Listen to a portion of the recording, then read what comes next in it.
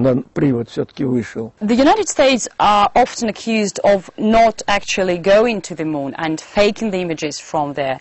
What's your take on that? Страшное невежество со стороны тех, кто об этом говорит. Это This is ignorance.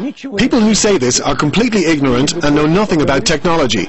Or perhaps they are simply ready to say anything to get on TV. всегда будет. Так вот, The Americans have announced the time of the moon mission launched beforehand. We were there at the Soviet military base, number 32103, and we could see the launch.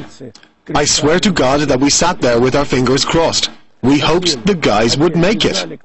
We wanted this to happen. I knew those who were on board, and they knew us too. They went through the first course adjustment, and then the second. The radars kept track of everything, even the way their engines worked. Then the ship touched down. Their external cameras were on, and they started showing a panoramic view of the area around the ship. We all could see it. We saw a hatch opening, and then the next camera. See, it was all thought out. Armstrong coming down. The last step was about a half meter from the surface of the moon.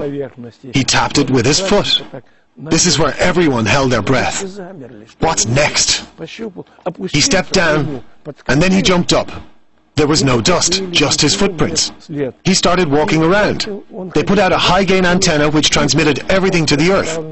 We could see everything they did with our own eyes.